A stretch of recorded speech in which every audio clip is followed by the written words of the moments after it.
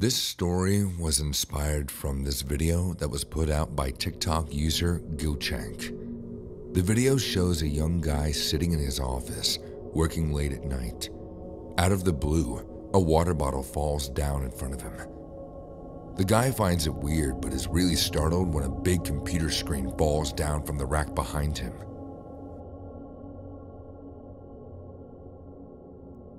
Things take a spooky turn when his chair moves on its own.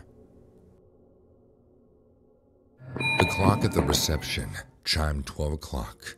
It was midnight. The office was quiet. There was always quiet at night. However, that night, the quiet seemed heavy, like some harbinging evil. I had always hated the graveyard shift. I hated it even more now, one week after an IT guy died. He didn't have any friends in the office. The guy was a loner. The cleaner told us that the guy was under depression and his wife left him for another man. The guy was working the night shift and would rarely leave his desk or even the office. Two days after his death, his colleagues claimed to feel a strange presence in the room as they worked. Nobody took them seriously until Derek, the manager, walked into the room and complained of having the same feeling. Immediately, the whole team shifted their systems and started working from home. But my boss was not so benevolent. In spite of what happened, she told me to clock in every night. I really didn't like her behavior, and nor did I like this company's culture, but with the falling market and zooming inflation, I had to obey. It was unfair that most of the time I was on night shift. However, I just joined here, having only been here a few months, so there was nothing I could do about it. Rather, I willed myself to look on the bright side. I had a job that meant income. I also had great work colleagues Jeff had celebrated his birthday early that night and asked me to join the festivities. We shared a delicious chocolate cake and cans of soda behind my desk. But now they were all gone, and it was just me. I took a coffee break, hoping to find someone in the pantry room for a chit chat, but there was no one. Our office had multiple floors, and it seemed that night that I was the only guy working on my floor. Not sleepy and being in no mood to have coffee alone, I returned to my desk. An hour had gone by, and I was deep into my work. Suddenly, a water bottle on Jeff's desk, adjoined with mine, fell down. It was weird, but I didn't think that much about it. I was so busy typing on the keyboard that I must have rammed the keys a bit too hard, resulting in my desk to wobble. I re replaced the bottle right where it was and continued working. Hardly a minute passed by when one of the monitors on the rack fell down. Now I was scared. It might have been or might not have been a ghost, but my boss would probably blame me for the damage. I stood up to pick up the monitor, and suddenly my chair moved towards me on its own. That was it. I was 200% sure that it was the ghost of the IT guy I ran for my life, only to find the main exit to the elevator locked.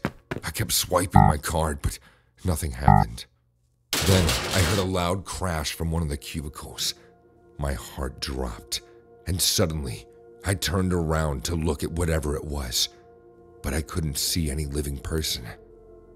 Stark naked fear gripped me hard. It was the primordial sort that reaches deep into your soul. It reached deep into mine and shook my presence. There's no ghost here, I shouted. There's no ghost here. A blur of a dark shadow danced out from the cubicle and sped towards me. It passed my body, straight to the exit, and vanished. At that moment, I thought I was going to have a heart attack. But thankfully, life had better plans. I remember that I still had the access card in my pocket. I swiped once more, and this time it worked. My mind told me to skip the elevator and take the stairs instead. Yeah, it would be much safer. 20 minutes and 12 floors later, I was out in the open. Cold night air hit me square in the face, slowing me down for a minute. I stopped and took a look back at the front door. there was no sign of that thing that chased me out. Still, I turned and kept running until I reached my apartment. The next few hours passed in a rush. I couldn't sleep. I locked my door and laid there in bed, waiting for morning to arrive. I reached the office at 8 and declared to my boss that our office wasn't a safe place to work. I told her about what happened last night. There's a ghost. My boss, Natasha, frowned. There was what? A ghost! It was so scary. You idiot, Natasha said. Ghosts don't exist, and you just want a reason not to work. Your generation sucks. You just want to freeload everywhere. I saw it, I insisted. Natasha left the cabin in anger. I was left alone in the cabin, scared and confused. I walked to my work area to check it out. The computer screen was still on the floor, and my chair was still in the same position it was left in. It was pointless to show Natasha this, and I'm sure after seeing this damage, she would insult me. I decided there and then to resign. I knew I would struggle and would probably need to move back in with my parents for a while, but given the situation, it was the best that I could do. Too scared to subscribe? My knees could touch the legs of the table, and I could feel the hardness of the wood through my pants. I shuffled a yawn. It wasn't time to yawn, but I couldn't help it. I'd been sitting in the hard chair for two hours, and my butt ached. I itched it to let my hands spread down from the table, but I couldn't. I blinked because I couldn't keep staring at Detective Sally's eyes like she was staring at mine determinately. I sighed and drummed my fingers on the table. It had been two long, agonizing hours in her office. It wasn't a good place, far from fancy. This office was never on my to go list. The walls were dull, and so was the ambiance. There was no food, and I was seriously hungry.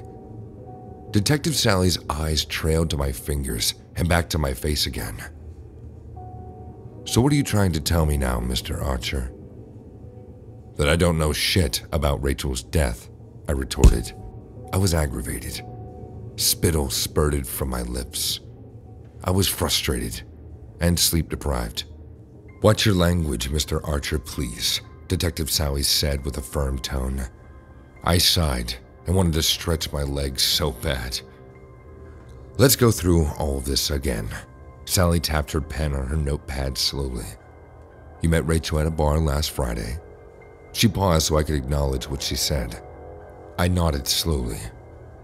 You had consensual sex. Mm, it was a one night stand thing, yeah, I said. Rachel was cute and had a pixie cut, was blonde. Her hair was the first thing that caught my eyes. It shone in the bar's dim lights, and I took the stool beside her and ordered a New York lemonade while she ordered an apple appletini. Her voice sounded sensual and soft, like music to my ears. Her lips were red and plump. Her black dress fit perfectly on her slender, curvy body. When the barman came and gave us drinks, he was a scraggly dude with thick, shaggy hair. She picked it up, and I saw her long nails, shiny with red nail paint. I took a sip of my drink, held the liquid in my mouth, and allowed the tangy taste to spread across my tongue before swallowing. She took a sip too. She must have noticed how intently I was staring at her, so she shifted sideways and crossed her legs. Hello, she said. Now I could see her face in full view. I could see how pretty she was. She wasn't that pretty in a generic way. Rachel was pretty in a Rachel way. I saw a lot of beautiful women, but it felt like it was the first time I had seen a beautiful woman. I'm Archer, Archer Bruce. I'm Rachel, she said. No last name, no middle name. She offered none. She was mysterious like that, which intrigued me. I offered to buy her a drink, but she refused, so we both ordered another set of drinks. We didn't talk about ourselves personally. Rather, we picked some random people lounging in the bar and talked about what people they might be. We didn't flirt with words, we flirted with body language. We stared each other in the eyes, and she smiled with a treacherously sexy smile. We must have exchanged numbers at some point, or not, but it just happened.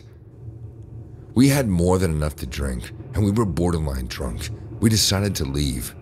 We staggered out hand in hand into the streets of New York, into the blinding lights of a night.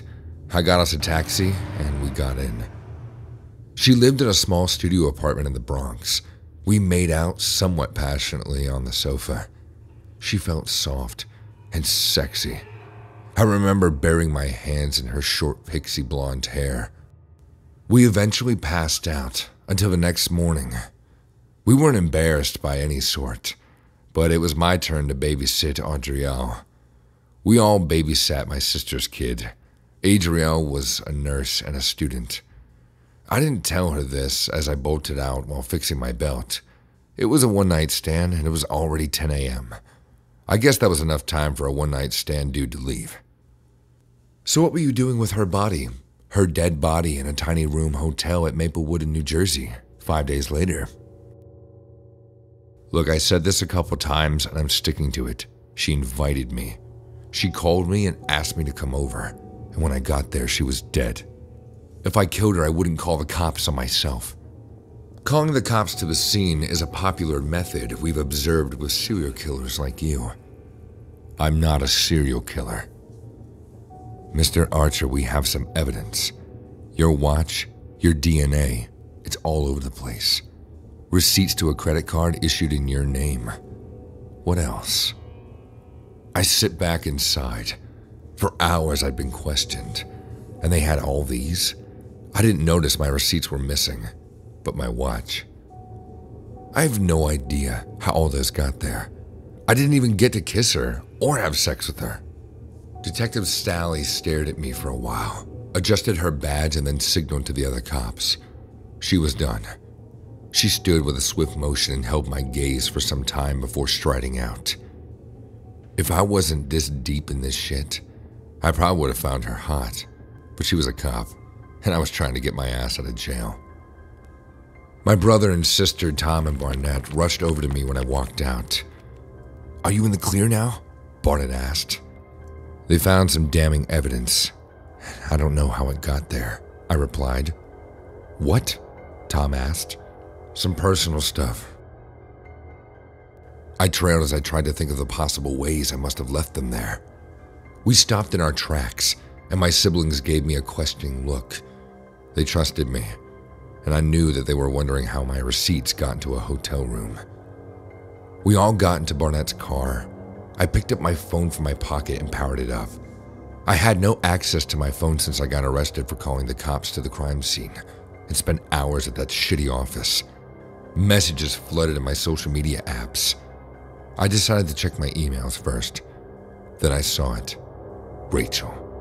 I knew it was her pixiebitch at gmail.com. It was definitely Rachel. Hi, Archer. I'm sorry it had to be you. I wanted to end my shitty life in an interesting way. So I drugged you and had sex with you and took all that stuff that the cops found, including some of your hair. I wasn't sure if I was going to do it before calling you, but I had driven all the way to Maplewood already. So I'm going to pop some pills now and hopefully I'll be dead when you find me, and you'll be reading this after your first questionings with the cops. I'm sorry. P.S. Your tongue felt so good on me. P.S.S. The cops will find more evidence. Then the screen went blank, and I couldn't find her mail anymore. Shit! I exclaimed. It was at that point I knew I was fucked. I didn't know what else Rachel had taken from me. The next morning, I was groggy. My head threatened to split in half from the pain that it was writhing in. It felt like a hangover, but I was just sleep deprived. I couldn't sleep. I tossed and turned all night. I couldn't leave New York. I had been told to stay within the city until the investigations were finished. I heard a knock on the door, and then I heard Barnett. Archer. I knew who it was. Detective Sally, maybe some other cops. They found it. I knew I had to leave immediately. I wasn't ready to go to jail for a crime I didn't commit. Isn't this against the law? You can't come in. I heard Barnett shout in her strained voice. I heard Detective Sally burst in, and then we were face to face. She held up a wide rectangular plastic bag with white lacy underwear. Does this look familiar to you? It was the underwear Rachel had worn the first night. I tried to keep a plain face, but Sally was a cop. She must have seen the flicker of recognition in my face. We found it in your trunk, Archer. The game's over. Panicking, I stretched out my hands to be cuffed. Was Rachel really dead? Or was this all a joke? How the hell did Rachel's underwear get into my trunk? It could only mean one thing. It wasn't really a suicide. If it was, the police wouldn't be investigating it. I had been framed for murder, and I didn't have an inkling of how or why I was framed.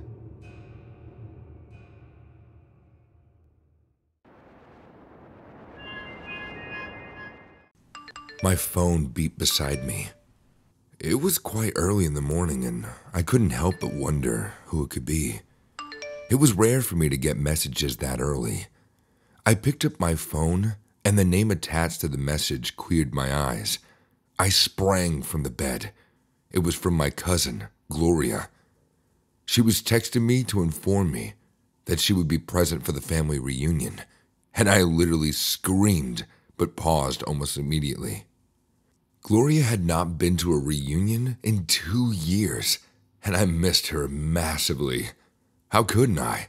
She was my favorite of all the cousins, and I was closer to her even more than my siblings. Of course, I was happy that she was coming to the reunion, but the thoughts of what happened the last time she came sifted through my mind like grains through a sieve. The Atwood family reunion was held at my grandpa's estate, as always. This year, the whole family would be getting more time to spend with each other because of the extended weekend, all thanks to the Independence Day. My grandpa's estate was huge. The massive area of land was surrounded by trees and hills. The enormous mansion in the estate itself resembled the hills in its height and the manner in which it was erected in the center of the estate. My siblings and I always loved to go to the reunions, sometimes because of the food and the freedom, the moment of the holiday, free from classes and assignments. Even as we grew older, we came to love our family gatherings. Other times, it was because we got to see our cousins, uncles, and aunts after so many months. My favorite part of the reunion, apart from the trouble Gloria and I got into, was the family dinner. It was beautiful to see tables and chairs set up in the garden and filled with humans chattering and discussing various areas of their lives on the last night of the reunion. The Atwood family was quite a large one, and we lived in various parts of the globe. The yearly reunion was the one time when we all came together. It amazed me that some members still missed it. I could understand if they were in a situation like Gloria's, but they weren't. The last reunion Gloria attended came with a bit of creepiness that neither of us shared with anyone since. Gloria was the adventurous type, unlike me, who was introverted. I was easily brought up stage by Gloria because she was my favorite cousin. Being the only same age as I was, I didn't mind. People often said that I'd showcase my wild side whenever I was with her. That year, Gloria insisted that we went hiking on one of those hills. I would have refused, but the idea of climbing and even camping thrilled me. I trusted Gloria enough to go with her. On the second day of the reunion, the two of us disappeared in the afternoon. Our parents were usually worried when the two of us left, while when we were much younger. But because we were older, they didn't even notice that we were missing from the reunions anymore. The good thing was, no matter where we went, we always came back. And that was enough for all of them. The two of us went backpacking, taking pictures along the trail. The day became night, and we found a place to make our tent and set up camp. We ate and drank into the night, talking about college and our boyfriends. When sleep met our eyes, we decided to retire for the night. The next day at the reunion was supposed to be a long day. We were barely in for a few minutes when we heard rustling and footsteps outside our tent. Gloria and I stilled in the tent, wondered what could be outside.